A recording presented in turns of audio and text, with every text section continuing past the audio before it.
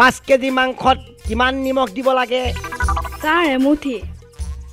আৰু যদি এক কেজি চাউল বহোৱা যায় তাত পানী কিমান দিব লাগে?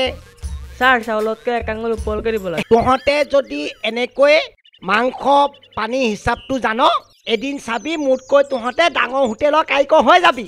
জীৱনত প্ৰথমবাৰ কইনা সাজযোৰ পিন্ধোতেই তোৰ ভাইৰক হেৰুৱাব লগা হ'ল। পিন্ধোতেই তোৰ ভাইৰক হেৰুৱাব লগা হ'ল।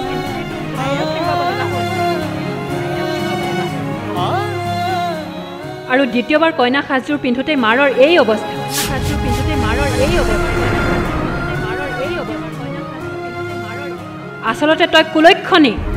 আচলতে তই কুলক্ষণী।